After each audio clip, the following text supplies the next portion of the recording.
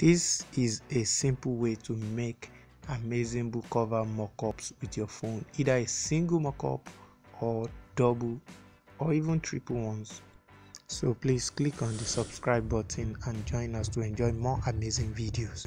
So here is the book cover mockup website I'm talking about diybookcovers.com slash 3d mockups.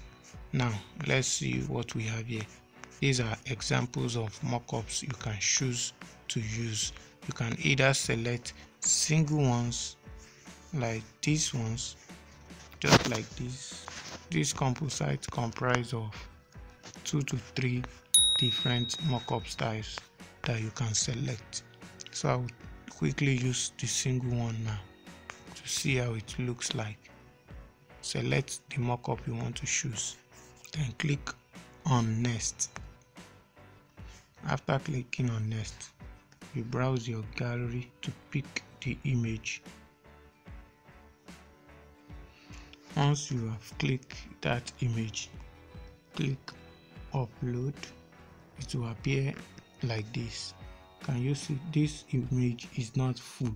Try to use an image that is full. Then scroll down a bit and select either PNG or JPG format. You'll see your book cover download.